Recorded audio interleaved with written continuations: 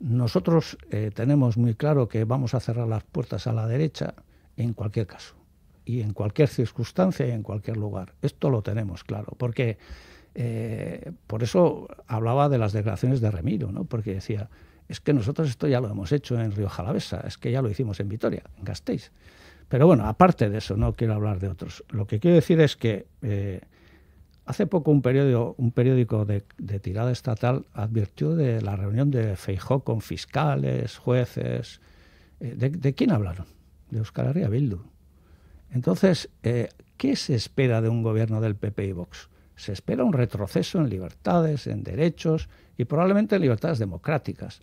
Por lo tanto, nosotros tenemos mucho interés, pero no como una sigla política. Creo que al país, a los vascos, al pueblo vasco, no le conviene que la derecha llegue al gobierno en el Estado.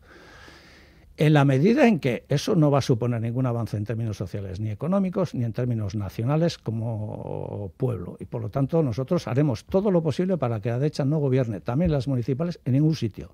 Si es por nosotros, no gobernarán en ningún sitio. Eh, el PNV pone un matiz y es que no eh, apoyarán un gobierno con Vox, con la ultraderecha. ¿Cree que con el PP sí estaría dispuesto el PNV?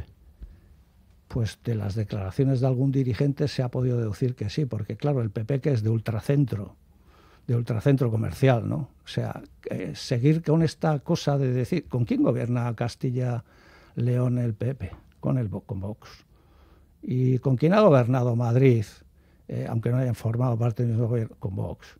es que son la misma cosa. Una cosa es que uno trabaja un mercado y otro trabaja otro, pero eh, querer hacernos creer que Vox es el malo malísimo frente a un PP que es moderado, pues es un truco que a nosotros no nos conviene. O sea, eh, hay veces en las que se dice, bueno, ahora al final Euskal Herria Bildu hace cosas en Madrid muy parecidas a las que hacía otra gente y tal. Vale. Eh, yo digo, no, mira, te voy a decir una cosa, nosotros jamás, jamás apoyaremos un gobierno del PP en el Estado español.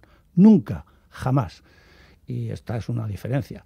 Porque además, entre otras cosas, aspiramos a que nuestra presencia en Madrid sea una presencia, digamos, temporalmente limitada. Nosotros somos independentistas y lo que decimos es, y lo recordaba el otro día en, el Arenal, ¿no? Es decir, ¿cómo es posible que haya 12 personas en Madrid, por muy tribunal constitucional que sean, que decidan si nosotros y nosotras nos podemos presentar a las elecciones o no en nuestra nación, en nuestro país.